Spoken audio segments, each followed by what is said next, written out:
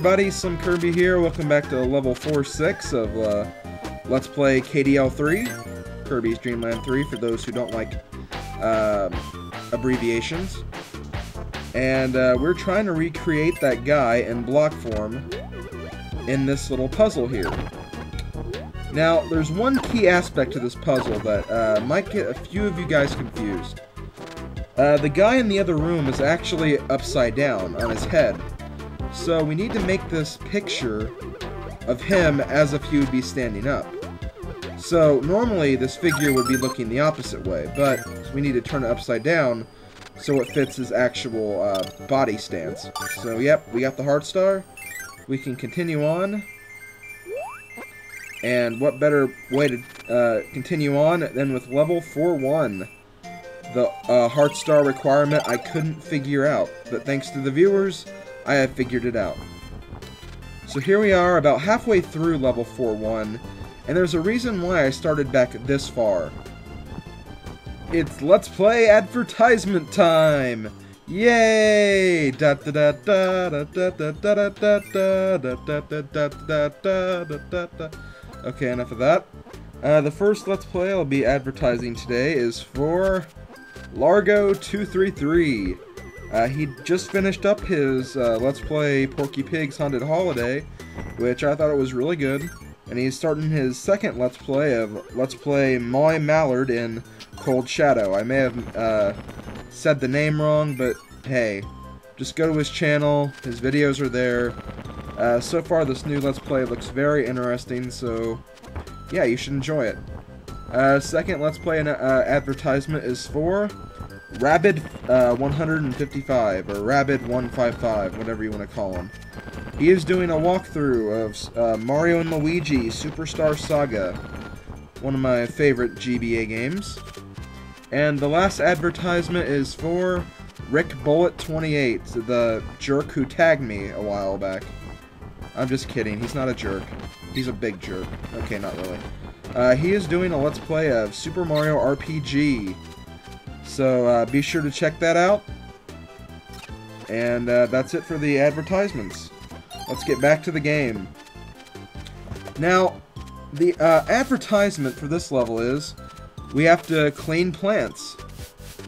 We actually have to use Coo and the broom ability to clean the flowers because they have dust on them apparently.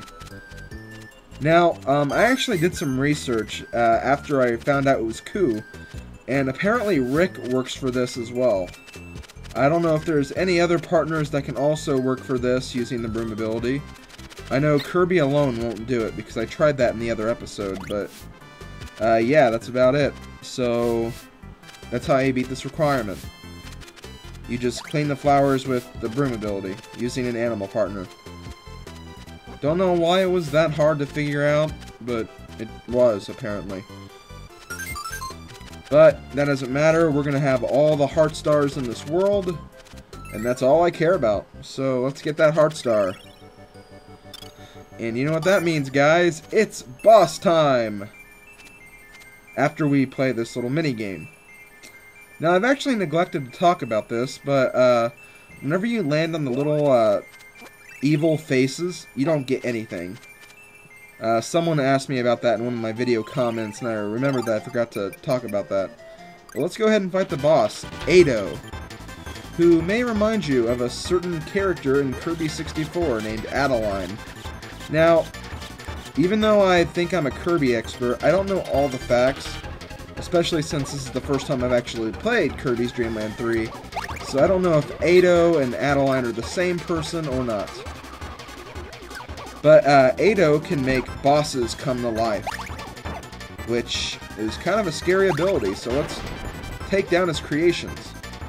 Uh, the first uh, creature was the Ice Dragon from Kirby's Dream Land 2, and he also has the football fish, or I don't know what the boss is called. I called it a football fish because it looks like the football fish in uh, Animal Crossing uh, City Folk. Uh, since you're not underwater, though, what you have to do is you have to swallow those stars and spit them back at him. Not a very hard boss. So let's go ahead and take out this fish before he well, zaps us with electricity. And I'm sorry if you can hear some fierce winds blowing in the background. It is actually storming pretty hard in Indiana right now, which is weird because it was really nice yesterday. Or, not yesterday, uh, the day before yesterday. I keep forgetting that I'm recording the commentary the day before the video actually goes up. And what do we have here? It's Mr. Shine and Mr. Bright. They are in this game as paintings. Now, they're actually a lot easier than they are in uh, Kirby's Adventure and in Kirby's Dream Land 2. In this game, they kind of just float back and forth. You wait for one of them to drop stuff on you, and then you just spin them back at the other. Not a very hard boss fight at all. It's basically very repetitious. In fact, a lot of the bosses are kind of like this in uh, this boss fight. They just kind of drift back and forth, they don't really try to pose too much of a threat. You just have to wait for the right time and uh, swallow a projectile and spit it back at him. And we killed Mr. Bright. It's time to kill Mr. Shine. And he's dead too. Congratulations, we beat the boss. Wait a minute. It's Kracko! The boss I originally thought was the boss of this world. He is here, but as a picture, like the other guys. I don't know if I'm too happy about Kracko being demoted, but I'm just glad he's in this game, because Kracko is a cool boss. I still remember on the very first Dreamland game, I would always get stuck at Kracko. I had no idea how I could... Well, I knew how to beat him, but it was, like, very hard for me. So he had so many attacks, he could move very quickly, in this game, he's kind of a joke. He just kind of moves back and forth, kind of like all the other pictures. So yeah, kind of disappointing, but I am glad he makes some sort of appearance in this game. Ah, come on, Kracko. So all you do is just wait for him to spit out his little guys, and then you spit them back at him. And at, about halfway through his health, he actually changes his attack pattern a little bit where he actually goes across the whole screen with his lightning attack. And he does that about two or four times, it depends. I didn't really get the best glimpse at his pattern, but he does that a few times, and then he actually starts releasing uh, more of his little guys, and then you just do the same thing you've been doing through the whole fight so far. Not very hard, but still, I'm just glad to see him in this game. It wouldn't have been Kirby's Dream Land without Kracko. Is anyone else very disappointed that he didn't appear in Kirby 64? I thought that was kind of bad to leave him out. I mean, Wispy was in Kirby 64. Whatever. At least Kirby 64 brought back Acro. Acro was a pretty okay boss for this game. And he's kind of being known as the water boss of Kirby now, so that's kind of cool. Okay, he has two more hits. He can repeat this pattern again.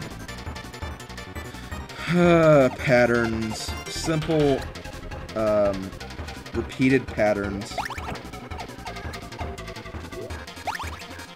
And I missed, so we have to go through this pattern one more time. Jeez. I guess I'll go ahead and mention something I haven't mentioned yet in this uh, series.